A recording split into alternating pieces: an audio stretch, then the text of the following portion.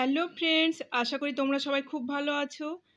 আজকে আমি একটা নতুন ধরনের রেসিপি নিয়ে এসেছি, মাছের আচার। আর এটা একটা রিকোয়েস্টেড ভিডিও দেখো আমি কীভাবে এটা তৈরি করছি। বাঙালি মানেই কিন্তু মাছ খেতে পছন্দ করে। আর আমরা যারা এখানে আছি, তারা তো মাছ যাই হোক পেয়ে যাচ্ছি, কিন্তু যারা বাইরে থাকে, সেটা বিভিন্ন পারপাসে হতে পারে। সে পড়াশোনা পারপাস হোক বা চাকরি সূত্রে হোক। মাছ খেতে তো তাদেরও ইচ্ছে হয়, হয়তো তারা হাতের কাছে সবসময় পায় না। যদি এইভাবে তৈরি করে রাখে, দুধের স্বাদ ঘোলে যেমন মেটে, এটাও ঠিক তাই।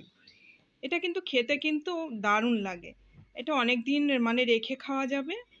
দেখো কীভাবে আমি এটা তৈরি করছি। মাছের আচারটা আমি আজকে মোরলা মাছ দিয়ে করব। তার জন্য মোরলা মাছটাকে ভালো করে কেটে পেটের ভেতর থেকে কিন্তু পুরো ভালো করে পরিষ্কার করে নিয়েছি আর মাথাগুলোও কেটে বাদ দিয়ে দিয়েছি। এবার এর মধ্যে আমি দিয়ে দিচ্ছি লেবুর রস।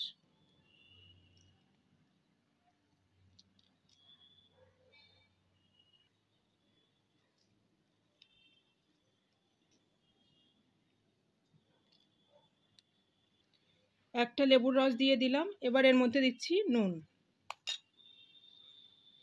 দিচ্ছি হলুদ। দিচ্ছি একটু রেড চিলি পাউডার। এবার আমি এটাকে খানিকক্ষণ ম্যারিনেট করে রেখে দেবো।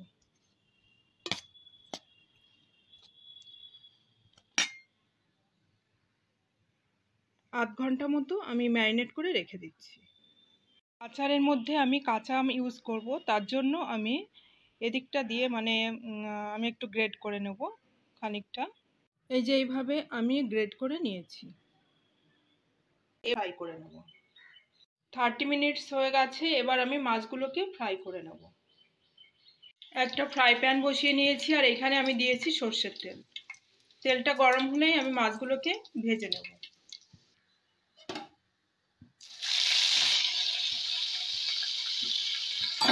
আমি মাছগুলোকে ব্রাউন করে ভেজে তুলে নেব।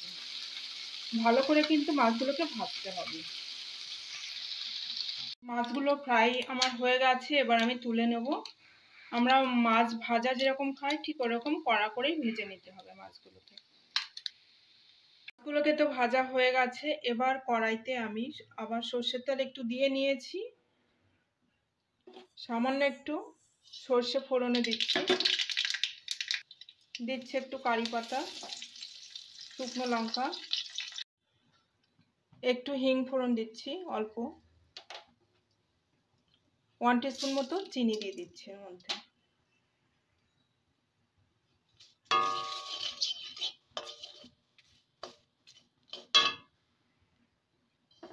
এবার এর মধ্যে আমি খানিকটা আদা নিয়েছি, এইভাবে ছোট ছোট করে কেটে নিয়েছি। আদাটা দিচ্ছি, আদা কুচি আর কি। খানিকটা রসুন নিয়েছি। রসুনগুলোকেও আমি কুচো কুচো করে কেটে নিয়েছি, লম্বা লম্বা করে কুচি করে কেটে নিয়েছি। কয়েকটা কাঁচা লঙ্কাও ছোট ছোট করে কেটে নিয়েছি।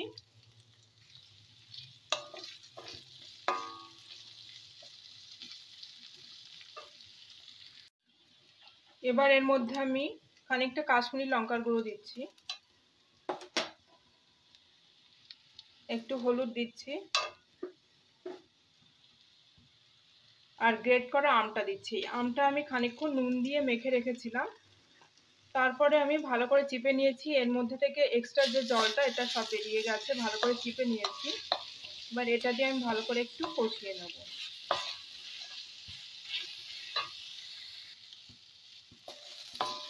আমার এই মশলাটা প্রায় কষানো হয়ে গেছে। এবার এর মধ্যে আমি খানিকটা ভিনিগার দিয়ে দিচ্ছি।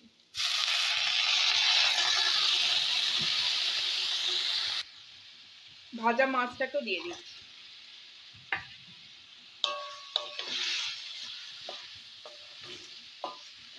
এর সাথে ভালো করে মিশিয়ে নিতে হবে।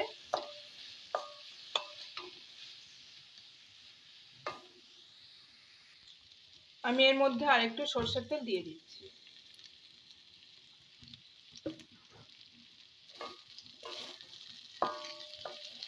আর ফ্লেমটা কিন্তু একদমই লোতে রাখবে। এইভাবে হয়ে যাবে, নাড়তে নাড়তে এটা হয়ে যাবে।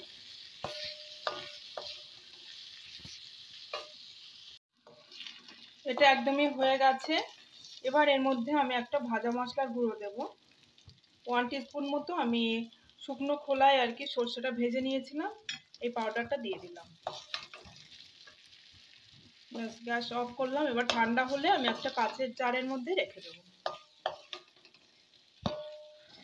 হয়ে গেল আমার মাছের আচার।